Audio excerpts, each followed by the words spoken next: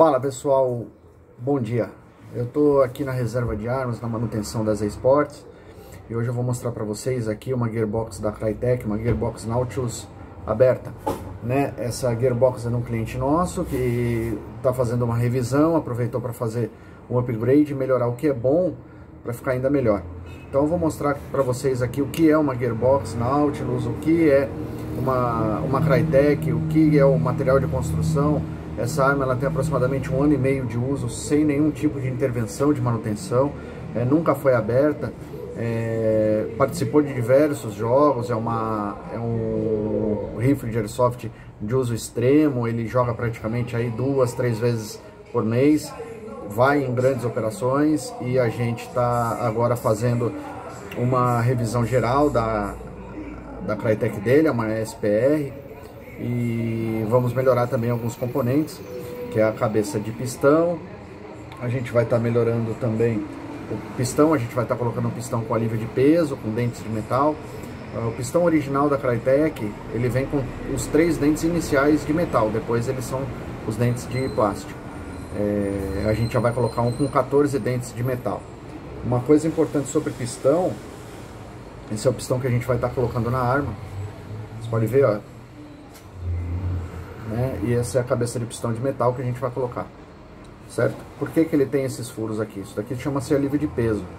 Com o pistão com alívio de peso, a gearbox trabalha melhor e trabalha também com a preservação da mola, né? A mola, ela faz menos força, menos compressão para poder movimentar o pistão, então você vai ter uma durabilidade maior de mola. A gente não vai mexer na mola dessa arma, tá? A gente só vai melhorar essa parte aqui do pistão. Uh, esse daqui é o pistão original da arma, né, um pistão de polímero. E esse daqui é a cabeça do pistão da arma também de polímero, certo? As, a cabeça do pistão original, a gente está devolvendo as peças originais para o cliente e está fazendo a troca por essas, por essas peças de alta performance. O que, que acontece também? A partir do momento que você faz uma vedação nova na arma, é, cabeça de pistão, você coloca um pistão mais ajustado, o FPS dela tende também a subir. A gente não vai melhorar a FPS da arma, mas vai subir naturalmente. Outra coisa muito importante é jamais coloque pistão de metal, com esse corpo aqui, com esse corpo aqui em cima dos lados de metal. Jamais façam isso em qualquer arma, qualquer rifle de airsoft. Por quê? Se acontece alguma varia, a arma, a arma resolve travar ou resolve é, quebrar algum componente, alguma coisa, senão vai continuar trabalhando e você vai danificar a gearbox case da arma, que é essa peça aqui. Você vai quebrar essa peça. Então o pistão ele tem que ter no máximo dentes de metal, certo? Os 14 dentes de metal. Corpo de metal, caiam fora disso, é um, dá um problema muito sério na arma e você vai acabar perdendo a gearbox case da arma. Uh, o motor da Crytek é um motor 30K, de 30 mil rotações, cadê a tela aqui?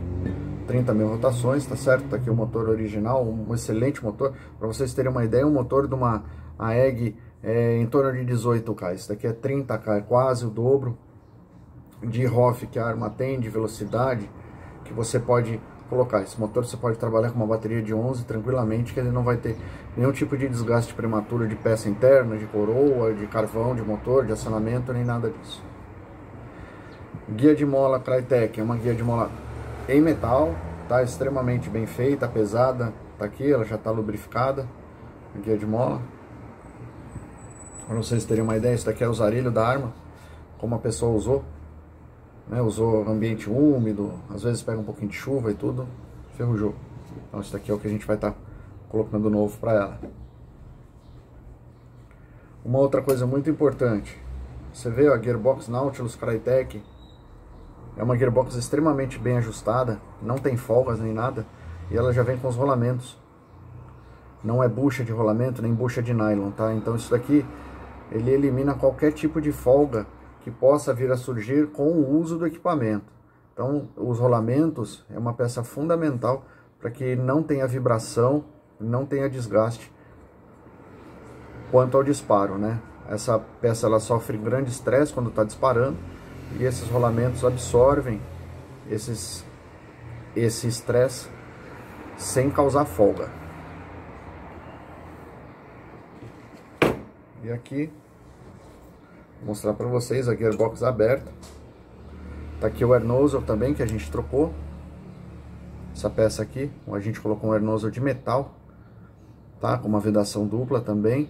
O, o air nozzle da Crytek é um air nozzle de plástico, esse daqui é de metal, vai ter uma durabilidade muito maior, praticamente nunca mais vai precisar trocar um air nozzle, salvo alguma ocorrência que tenha.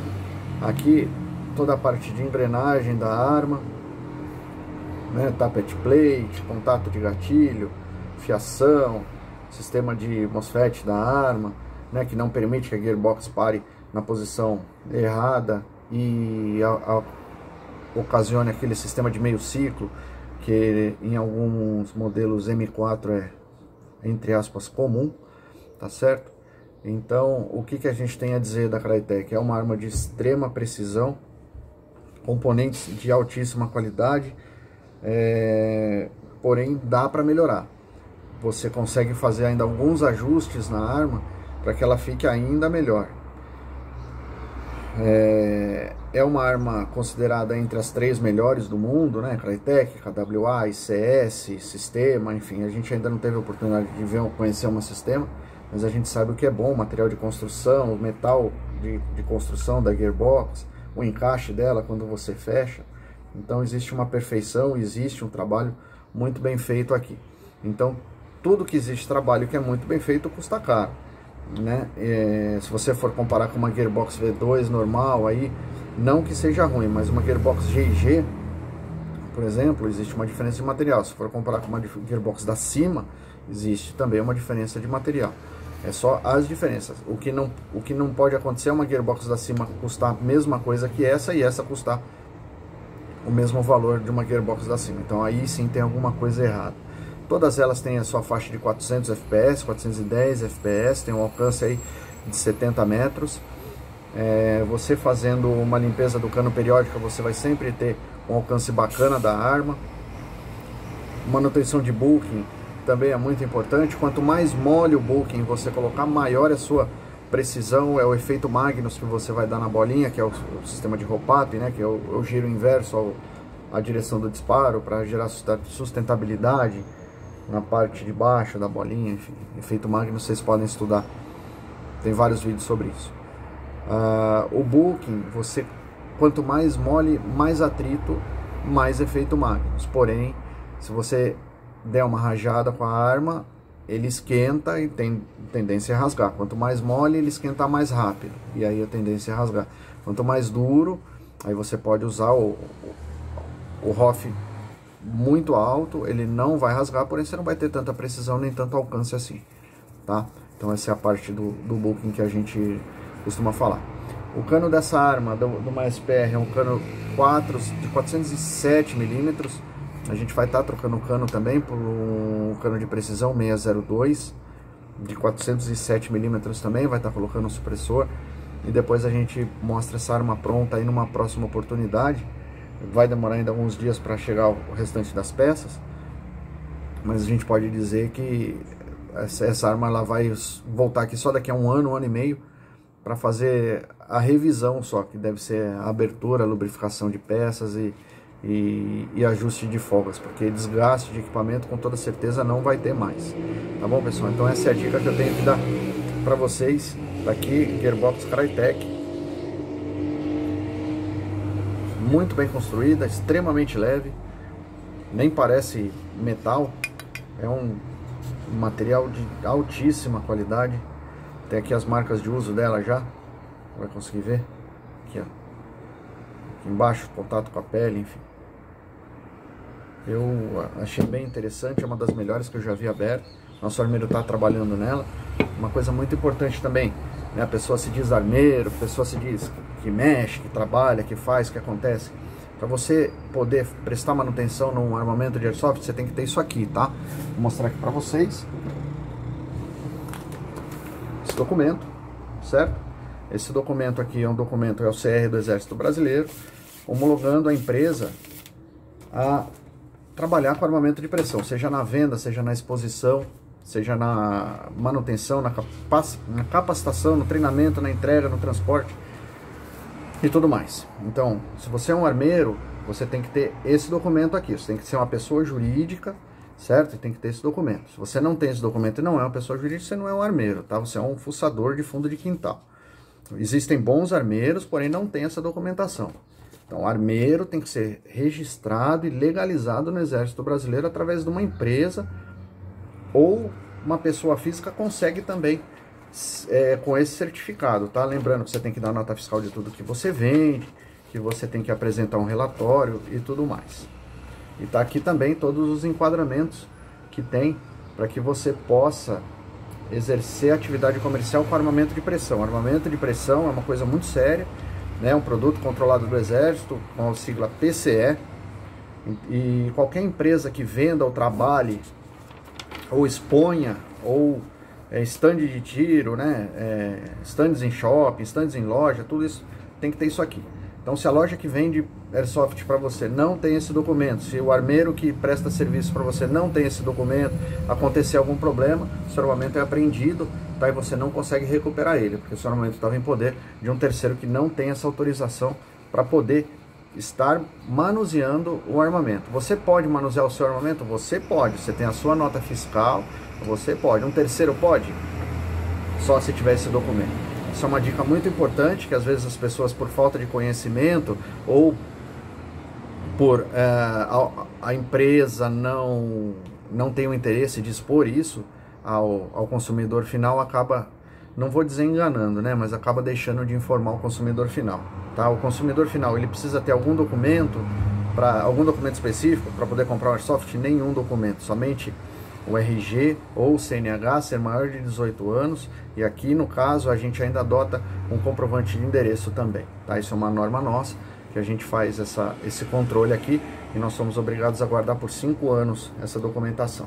Tá bom, pessoal? Essa é uma dica que eu tenho sobre a legalidade da, da manutenção, sobre legalidade da venda, sobre a legalidade até de praticar o esporte, tá? Se você pratica o esporte em algum campo e você paga para você praticar o esporte exige o CR do campo, tá certo? O campo, qualquer pessoa que tem atividade comercial, que lucre em cima disso, tem que ter CR.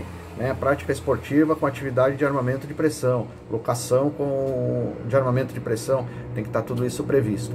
Aconteceu uma, alguma fiscalização, já aconteceu aqui com a gente, e tiver alguma coisa fora do normal, o equipamento é apreendido, é, o responsável é encaminhado ao órgão competente, vai responder por isso. Então é uma coisa muito séria que os operadores acabam se descuidando desse detalhe. É, se, se tem muita preocupação com a nota fiscal, ah, mas a minha EG tem nota, tudo bem, mas a sua nota não é de uma empresa legalizada, então ela não serve para nada. Ah, mas eu jogo num campo que eu pago lá 20, 30, 40, 50, 60, não, não importa quando você paga. Eu não estou falando é, que não deva jogar, não é isso. É, o esporte é uma atividade lícita, é previsto em lei, qualquer, qualquer esporte ele, ele deve ser praticado. Qualquer pessoa que proíba a prática de algum esporte está infringindo uma lei. É um direito constitucional do cidadão praticar um esporte, tá certo? Porém, o esporte com armamento de pressão é controlado, você tem que ter esses cuidados.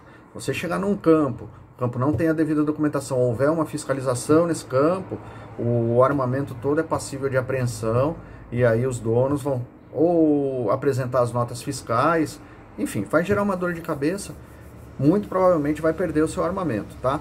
Mas então tome bastante cuidado, procurem campos legalizados ou campos que não cobram para você poder jogar o seu airsoft. Se não cobro, então não existe atividade comercial. Então aí tudo bem. Ah, eu tenho uma chácara, estou reunindo meus amigos, não existe cobrança, não existe comércio, não existe nada desse sentido.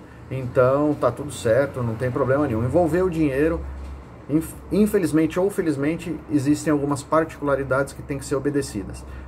Se eu concordo ou não é outra história, porém a gente aqui é, preza pela legalidade como sempre, desde o início. Então é assim que a gente trabalha, é assim que a gente mantém todos os nossos negócios, tanto na manutenção, quanto na venda, quanto na prática esportiva, quanto nos campos, quanto na exposição, quanto nos treinamentos junto às forças de segurança, tudo isso. Tá bom, pessoal? Essa é a dica que eu tenho a dar para vocês. Tá aí uma Crytek aberta que a gente está fazendo. Um forte abraço a todos e bons jogos aí que o final de semana tá chegando. Um abraço.